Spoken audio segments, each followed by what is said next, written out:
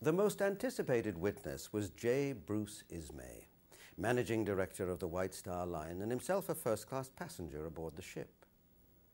Ismay's father co founded the White Star Line in the late 1800s. Later on, when the company was sold to J. Pierpont Morgan in 1900, an agreement was reached whereby Ismay would continue on as managing director and chairman. Before he testified at the hearing, Ismay had been vilified by the international press as a coward for having saved himself while hundreds of women and children went to a watery grave.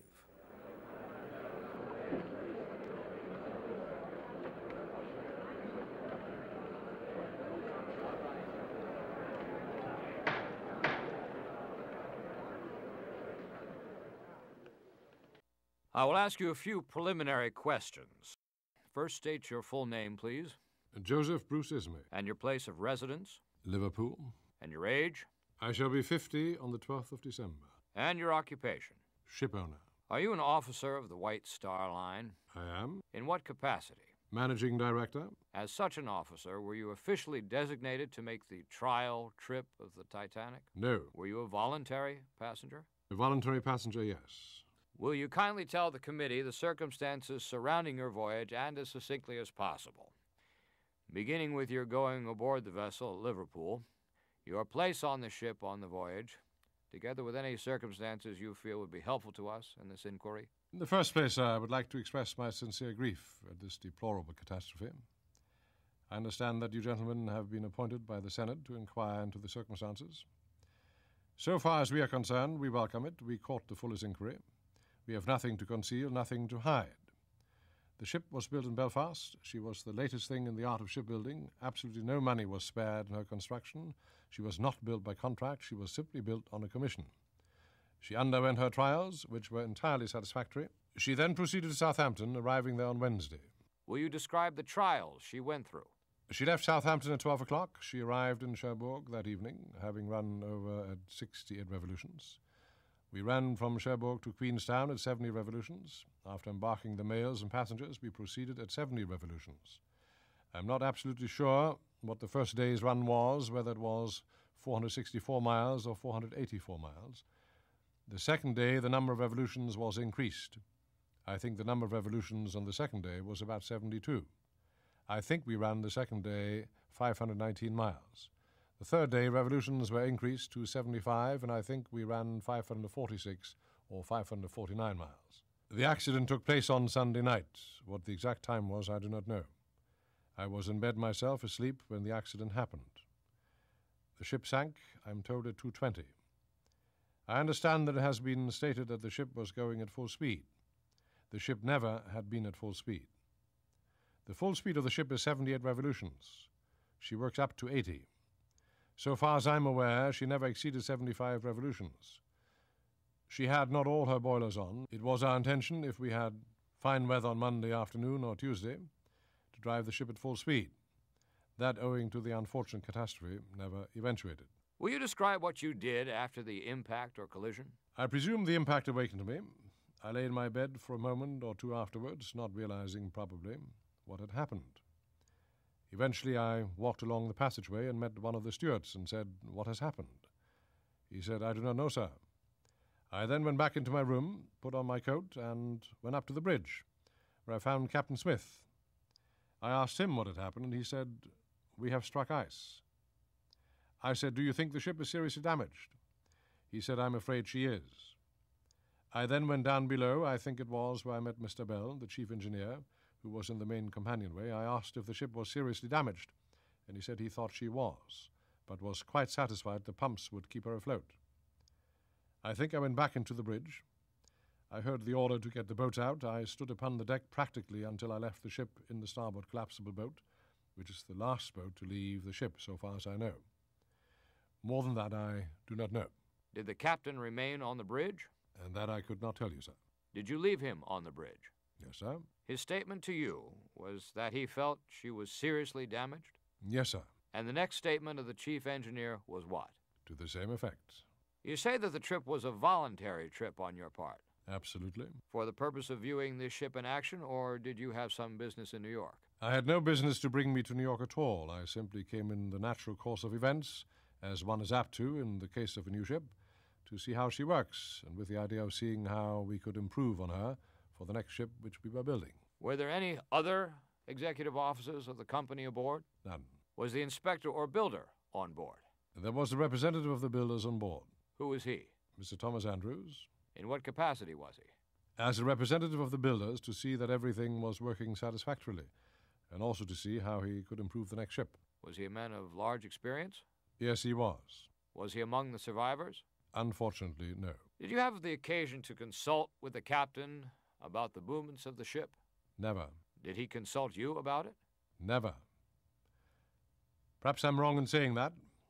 I should like to say this.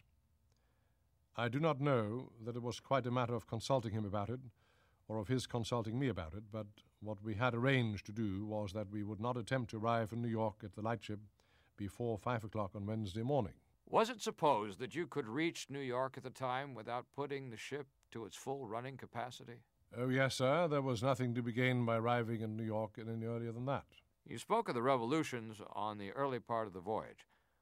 Those were increased as the distance was increased? The Titanic being a new ship, we were gradually working it up. When you bring out a new ship, you naturally do not start her running at full speed until you get everything working smoothly and satisfactorily down below. During the voyage, did you know of your own knowledge of your proximity to icebergs? No, sir, I did not. I know ice had been reported, though. Ice had been reported? Yes. Do you know anything about a wireless message from the America to the Titanic saying that the America had encountered ice in that latitude? No, sir, I do not. Were you aware of the proximity of icebergs on Sunday? On Sunday, no, I did not know on Sunday. I knew that we would be in the ice region that night sometime, That you would be or were? that we would be in the ice region on Sunday night. Did you have any consultation regarding the matter? Absolutely none. Or with any other officer of the ship? With no officer at all, sir. It was absolutely out of my province. I'm not a navigator. I was simply a passenger on board the ship. Were you outside on the deck when the order was given to lower the lifeboats? I heard Captain Smith give the order when I was on the bridge. You heard the captain give the order? Yes, sir. Will you tell us what he said, Well, it's rather difficult for me to remember exactly what was said, sir. as nearly as you can? I know I heard him give the order to lower the boats. I think that is all he said. I think he simply turned round and gave the order. Was there anything else he said as to how they should be manned or occupied? No, sir, not that I heard. As soon as I heard him give the order to lower the boats, I left the bridge. You left the bridge? Yes. Did you see any of the boats lowered? Yes, sir. How many? Certainly three. Will you tell us, if you can, how they were lowered? They were swung out, people were put into the boats from the deck, and then they were simply lowered away down to the water. Was there any order or supervision exercised by the officers of the ship in loading these lifeboats? Yes, sir. They first put men into the boats for the purpose of controlling them? We put in some of the ship's people. In the boat in which you left the ship, how many men were on board? Four. As they were loaded, was any order given as to how they should be loaded? No. How did it happen that the women were first put aboard these lifeboats? The natural order would be women and children first, That was followed? as far as practical. And were all the women and children accommodated in these lifeboats? I could not tell you, sir. How many passengers were in the lifeboat in which you left the ship? I should think about 45, Was that its full capacity? practically. Was there any struggle or jostling or any attempts by men to get into the boats? I saw none. Were children shown the same consideration as the women? Absolutely. How long were you on the ship after the collision occurred? I think it was an hour and a quarter. What were the circumstances of your departure from the ship? The boat was there, there was a certain number of men in the boat, and the officer called out asking if there were any more women, and there was no response. And there were no passengers left on the deck. There were no passengers on the deck? No, sir, and as the boat was in the act of being lowered away, I got into it. Was there any attempt, as this boat was being lowered past the other decks, to have you take on more passengers? None, sir. There were no passengers there to take on. How long were you in the open sea in this lifeboat? I should think about four hours. Were all the lifeboats of one type? No, there were four that are called collapsible boats. How many were there, I think there were 20 altogether. including both designs? Yes, 16 wooden boats and four collapsible boats. Mr. Ismay, what can you say about the sinking and disappearance of the ship? Can you describe the manner in which she went down? I did not see her go down. How far were you from the ship? I do not know how far we were away. I was sitting with my back to the ship. I was rowing all the time I was in the boat. We were pulling away. Did you not care to see her go down? No, and I'm glad I did not. Can you tell us anything about the inspection and certification that was made and issued before sailing? The ship receives a Board of Trade passenger certificate, otherwise, she would not be allowed to carry passengers. Do you know whether that was done? You could not sail your ship without it, sir.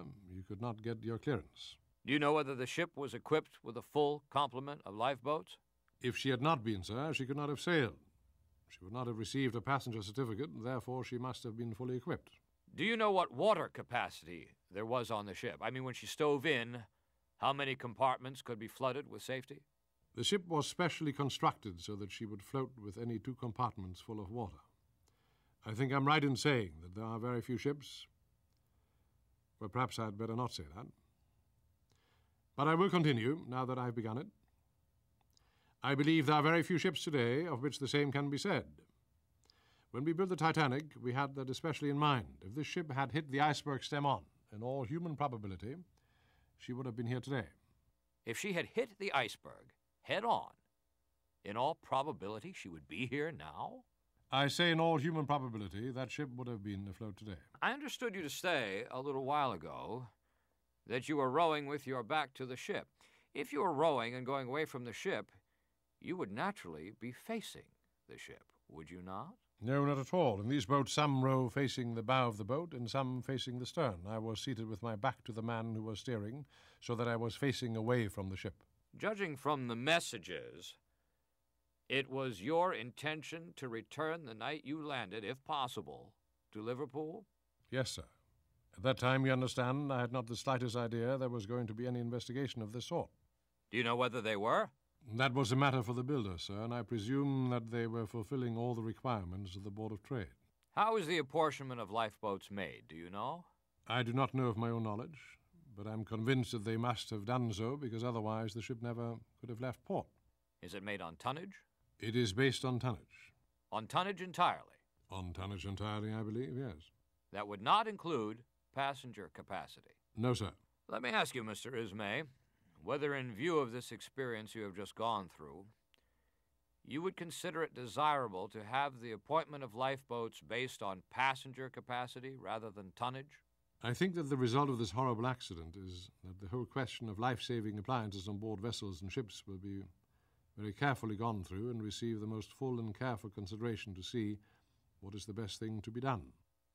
Had the Titanic carried double the number of lifeboats or treble the number of lifeboats, do you consider that there might have been an increase in the number of passengers and crew saved? I think that is quite possible, sir. I do not want to commit your company, and I presume I will not do so by this inquiry. But in the view of all that has occurred, are you willing to say that the proportion of lifeboats should be increased to more approximately meet such exigencies as you have just passed through? I think, having regard to our experience, there's no question that that should be done. But I think it may be quite possible to improve on the construction of the ship. Have you given any instructions to increase the lifeboat capacity of other White Star ships? We have given instructions that no ship belonging to the IMM company is to leave any port unless she has sufficient boats on board for the accommodation of all passengers and the whole of the crew. But by that course, you exceed the requirements of the regulations of the British Board of Trade. Absolutely. Our ships all now conform to the Board of Trade regulations without putting the additional boats on. I understand that, but you evidently do not regard the regulation of the British Board of Trade as sufficient to protect the lives of your passengers. Not after our unfortunate experience, sir, that is so. Not desiring to be impertinent at all, but in order that I may not be charged with omitting to do my duty, I would like to know where you went after you boarded the Carpathia and how you happened to go there. Mr. Chairman, I understand that my behavior on board the Titanic and subsequently on board the Carpathia has been very severely criticized.